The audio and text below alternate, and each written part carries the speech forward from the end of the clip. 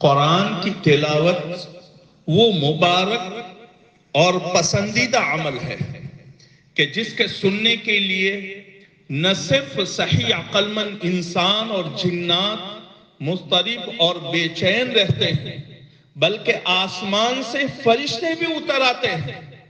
जैसा कि इमाम बुखारी रही हज़रत बरा इब्न आजिब रदी अल्लाह की जबानी एक सहाबी का वाकया नकल करते हैं कि एक सहाबी अपने घर के अंदर तहजुद में कुरान मजीद पढ़ रहे थे।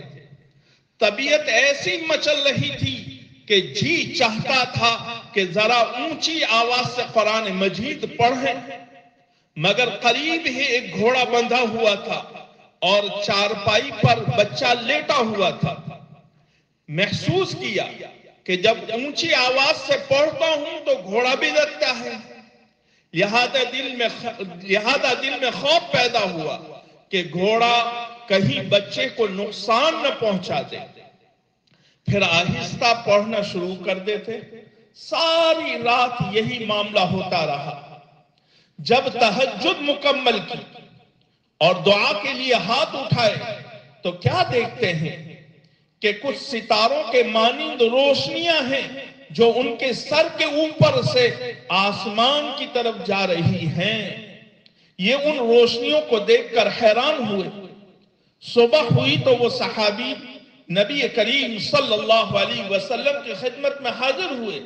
अर्ज़ किया, या रसूल अल्लाह सल्लल्लाहु अलैहि वसल्लम, मैंने रात को तहज्जुद इस अंदाज से पढ़ी कि बच्चे के खौफ की वजह से आहिस्ता पढ़ता था और जी चाहता था कि जरा आवाज़ के साथ पढ़ूं, मगर दुआ के वक्त मैंने कुछ मैंने कुछ रोशनियाँ आसमान की तरफ़ जाते देखी।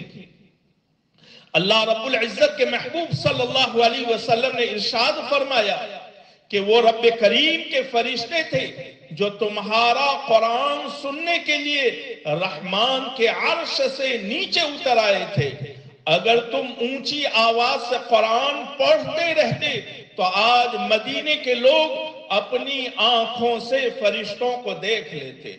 सुबहान अल्लाह सुबहान अल्लाह इस वाकये से हमें सबक मिलता है कि हमें कसरत से कुरान पाक की तिलावत करना और उस पर हमेशगी इख्तियार करना, ये नेक बख्त ज़िंदगी का सबब है, जिस पर कायम रहना एक पक्के मुसलमान के लिए बहुत मुश्किल नहीं है।